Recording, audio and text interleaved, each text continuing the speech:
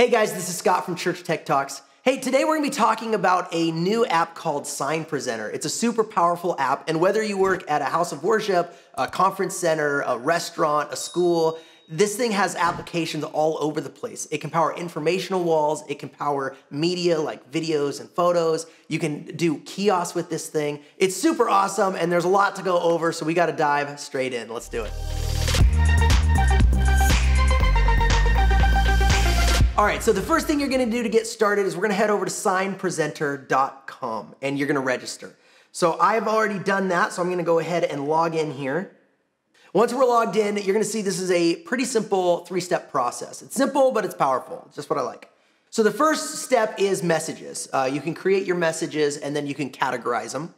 The second step is playlists. You can take all of those messages that you just made and you can create playlists with them. And then the third step is screens. And what you're gonna do here is you're gonna set up your screen. So you can set up one, maybe you name them by room. So we have a screen in the foyer or we have a screen in the overflow room. So that's kind of how the three steps work. And let's, let's dive into each one a little bit more. So we're gonna go to step one, messages. And you can see we have the option of creating a vertical or a horizontal message.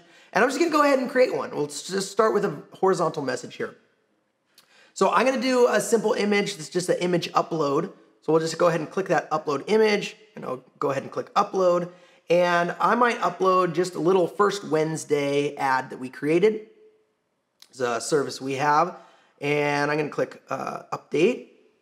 And then I'm gonna name this. This is gonna be our first Wednesday. I might add this to a category called rolling announcements.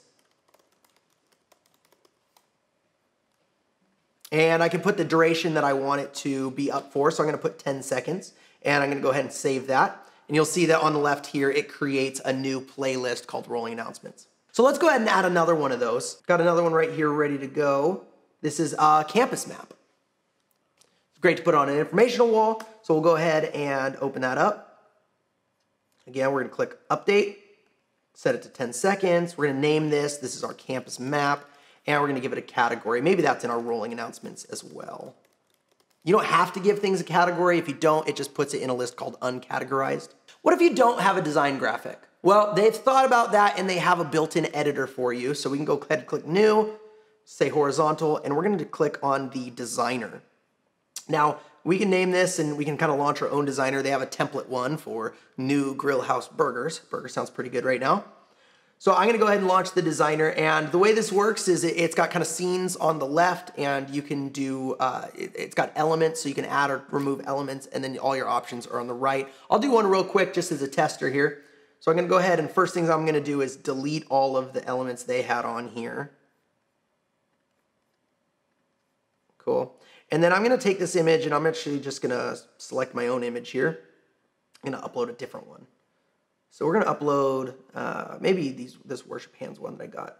All of these images that I'm using are coming from Unsplash. Uh, it's royalty free website, it's super awesome, free to use. Um, if you need images for anything, I, I definitely recommend checking it out because it's got really good looking photos. So I'm gonna go ahead and crop this to the size we want here. I'm gonna, I clicked the 16:9 to constrain it to that ratio because that's what most TVs are.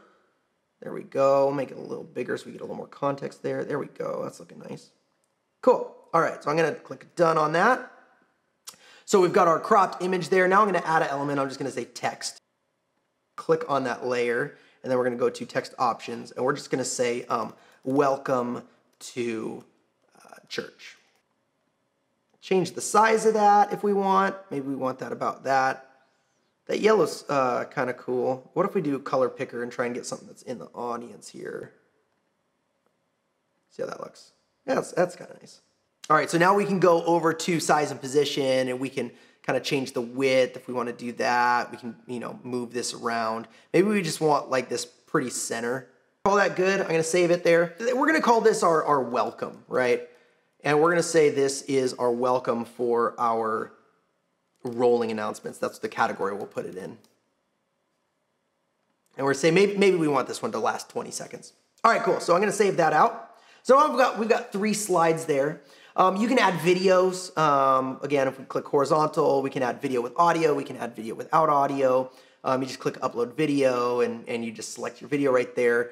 Once you upload that, it's going to start processing that video and you'll get kind of a little animation there that'll tell you it's processing. It'll let you know when it's done processing it. I've already added a video, so uh, I'm gonna go ahead and go over to that now and show you kind of what that looks like. You enter the duration in seconds, uh, and then we can title it, we can give it a category, and there's our video that I uploaded earlier today, so the processing would already be finished when I made this video. You can also do things for kiosks, so let's, let's try some vertical stuff. So let's go create a vertical one here. And uh, they've got some cool stuff. They got weather here. So I'm just gonna go create a little weather thing. And we're gonna say this is maybe 20 seconds. And we're gonna name it, of course, weather. We're gonna put in our, our zip code here and we can give it a city name. So we'll say Temecula, CA. Save. There's our vertical weather. It's just giving us a, an error every time we make one just to let us know, hey, this, this isn't in a playlist yet. We already know that. And let's create one more.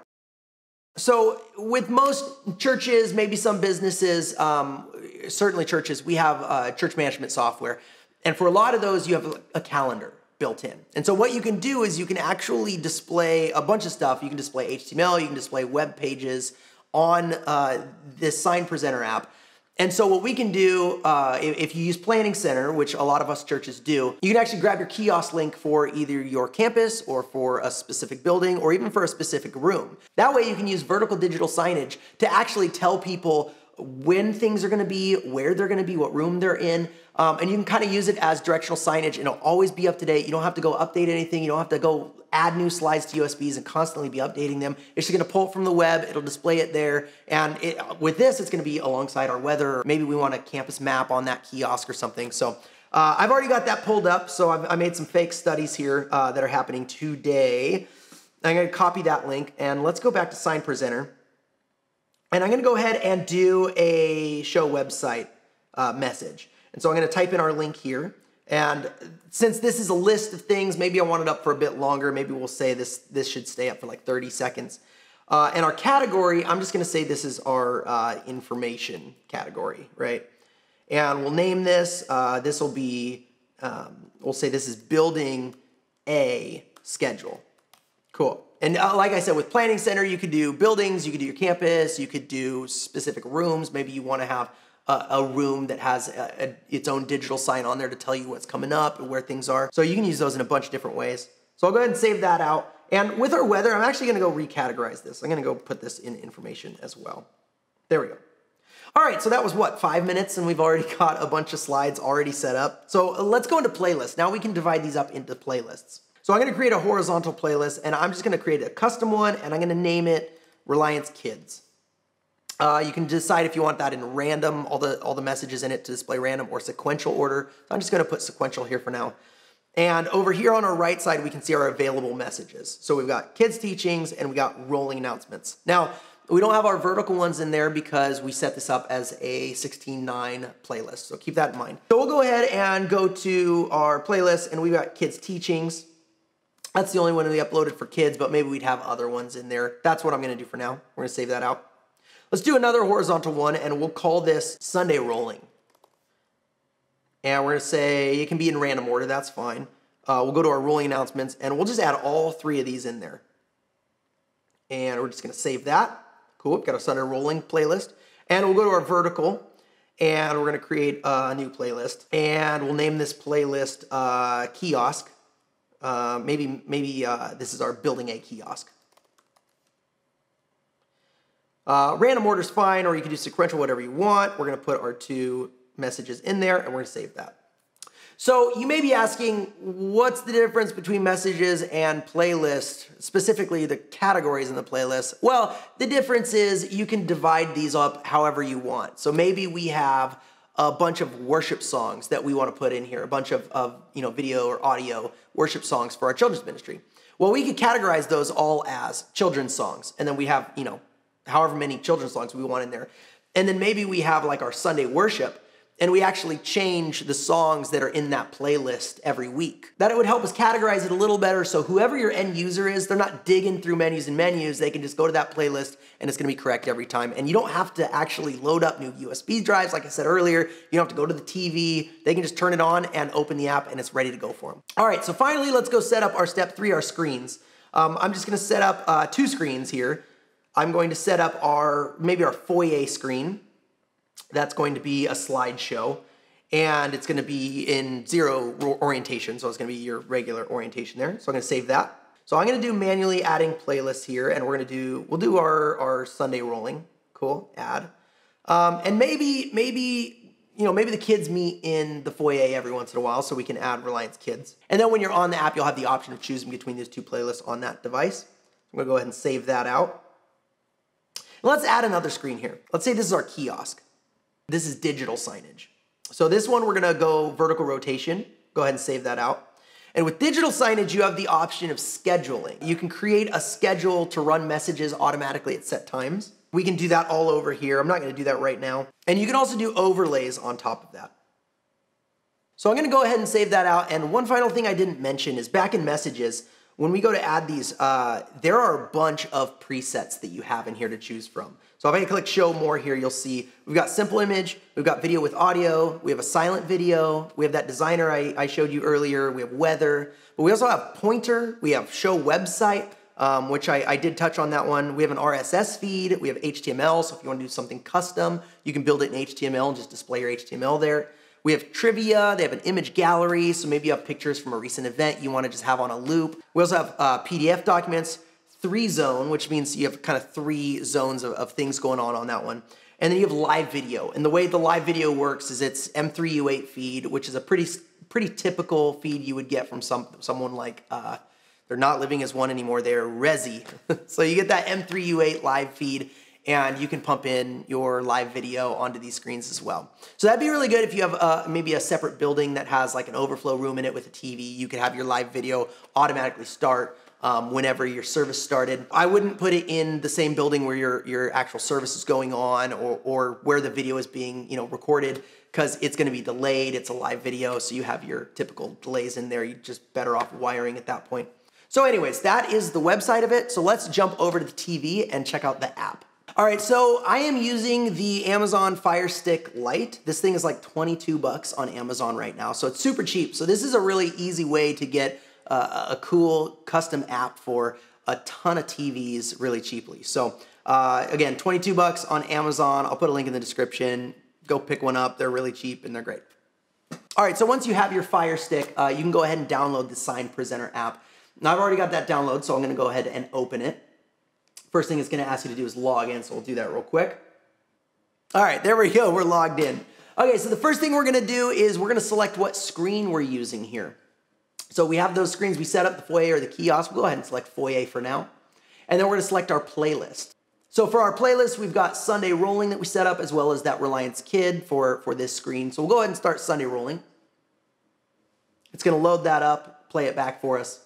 It loads it locally, so you're not gonna have sync issues uh, every time you use this. So it might be a little bit better if you're in a situation where maybe your Wi-Fi is limited or your Wi-Fi is a little bit slower. So there's that slide we designed, as well as the campus map there. It's gonna advance automatically, or you can just click to advance it, and then it rotates, just like that. So let's go back and let's go to Reliance Kids and it'll load up that thing again. It's gonna load the image, it's gonna load the video there. If we had more slides, it would play those back as well, but it, it, that playlist only contains that video right now.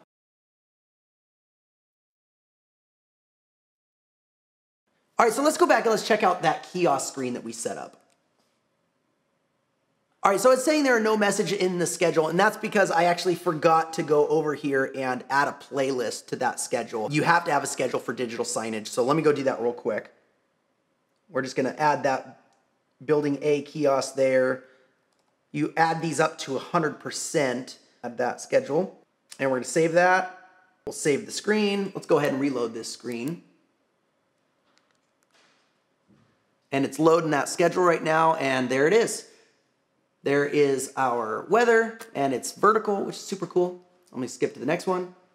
And there's our events for the day. It's gonna tell you the time, it tells you what's coming up, it tells you what building it's in, and it's got a little event description there for you. So you kind of always have the ability to check out what's going on, uh, where it is. And we set up two TVs with three different playlists in a matter of minutes. It's super simple, and so far it's been incredibly reliable. So I definitely recommend you guys check this out. I think it's a really good alternative to Plex. Like I said, especially in areas where you have low Wi-Fi or where you have slow internet, but it's gonna work in great Wi-Fi as well, so it could be a really good option for your church. Especially if you have a big campus where you don't wanna be running around and updating USB ports and plugging them into TVs all across the campus. You can just set up a schedule and just have it run and it's gonna take care of itself. So anyways, guys, that is Screen Presenter. It's a super awesome and, and really powerful app, but it's super easy to use, which is why I love it. The Fire Stick, 22 bucks a month. The app itself is a $10 a month subscription literally the price of Netflix, totally worth it. There's a 14 day free trial. Uh, use my code that's in the description below.